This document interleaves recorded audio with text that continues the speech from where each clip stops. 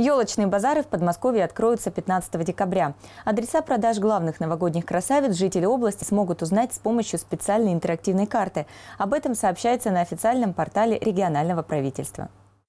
Интерактивное пространство создадут на базе уже привычного всем портала Яндекс.Карты. На них будут нанесены все нестационарные торговые объекты, в том числе и елочные базары. Хоть и до официального открытия массовых продаж еще далеко, первые новогодние ели и сосны, а также праздничная иллюминация уже появились около крупных торговых центров на территории Подмосковья. Напомним, в прошлом году в преддверии новогодних праздников в регионе открыли около 500 елочных базаров. Активную работу они начали в третьей декаде декабря. Анна Троян, телеканал ЛРТ. Всем привет! Я Анна Троян, вы смотрите ЛРТ. Подписывайтесь на наш канал на Ютубе и ставьте лайки. Будьте в курсе самых важных событий.